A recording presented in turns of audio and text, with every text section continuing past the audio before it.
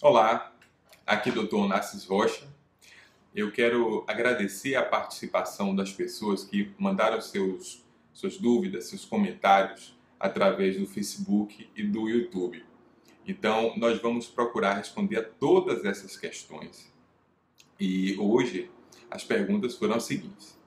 Socorro Gomes perguntou: Qual o risco da cirurgia de catarata no paciente com glaucoma? Socorro, a cirurgia de catarata é a cirurgia mais realizada no mundo atual. Então, é a cirurgia que nós temos a maior segurança em realizar. A catarata ela pode, claro, ocorrer no paciente que tem glaucoma.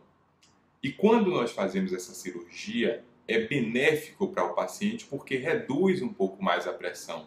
Ela dá um benefício extra a quem tem glaucoma. Em algumas situações, inclusive, aquelas pessoas que têm uma pressão de difícil controle, que já está usando aí algumas drogas, já fez o laser no passado e ainda assim persiste com a pressão alta, a cirurgia nós podemos fazer uma combinação de técnicas e operar a catarata e o glaucoma no mesmo momento. Isso é benéfico em alguns casos. A segunda pergunta foi de Daniela Silva. Ela pergunta: depois que o glaucoma cegou completamente, é irreversível? Sim, Daniela. Quando o glaucoma cega, ele é, é um tipo de cegueira irreversível, bem como uma degeneração macular relacionada à idade. Essas são as duas principais causas de cegueira no mundo moderno. E em relação ao glaucoma, sendo esse o risco principal, o da perda de, da visão de forma irreversível, nós temos que dar uma atenção muito grande ao diagnóstico precoce nós falamos isso nos primeiros vídeos da série Tutorial Glaucoma.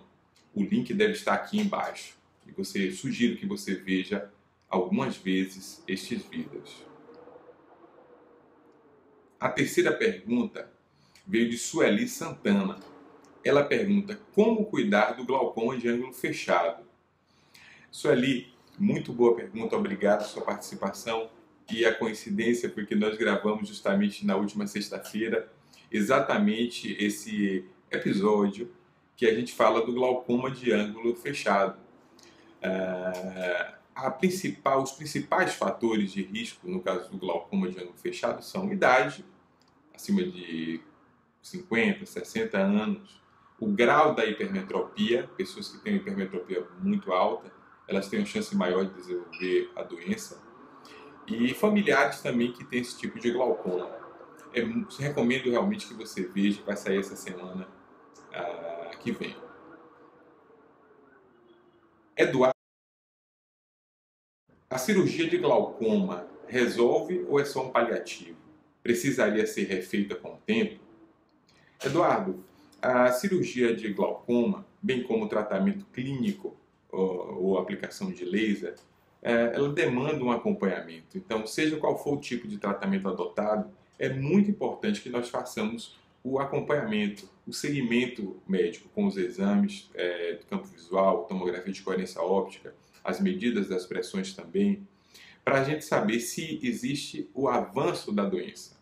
Uma vez que exista o avanço da doença, nós podemos, no caso da cirurgia, fazer uma nova cirurgia, fazer uma revisão da cirurgia anterior, ou, no caso do tratamento clínico, nós podemos associar laser, associar colírios, fazer uma combinação de técnicas e alguns pacientes eles podem ter tratamento a laser, uso de colírios e cirurgia. O mais importante é esse acompanhamento para avaliar se existe ou não a progressão, o avanço da doença. Foram essas as perguntas de hoje e eu gostaria de convidá-la a deixar sua dúvida aqui na parte dos comentários do vídeo que eu terei o maior prazer em respondê-los. Um grande abraço e até logo!